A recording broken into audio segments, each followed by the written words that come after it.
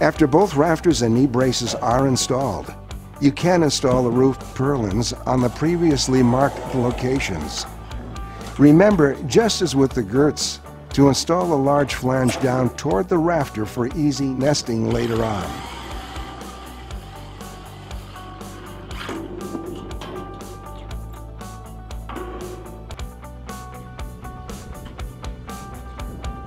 Clamp the purlin to the rafter and install two screws close to the inside edge of the rafter so that it will be easy to install later purlins on top of these installed purlins. Once all purlins are installed, attach a ratchet strap to each rafter and tighten strap so the rafter is plumb.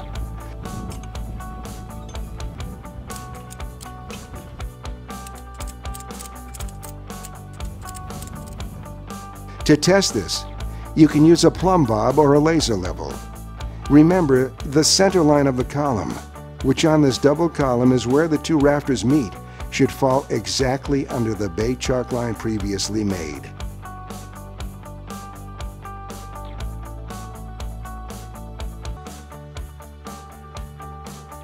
Once rafters are plumb, X-bracing in the roof can be installed. This method will be exactly the same as the wall strapping.